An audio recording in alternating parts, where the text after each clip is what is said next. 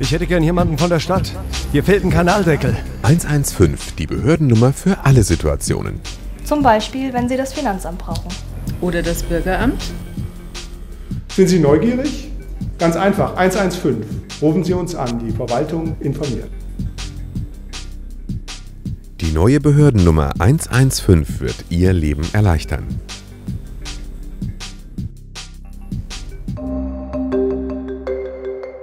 D115. Wir lieben Fragen.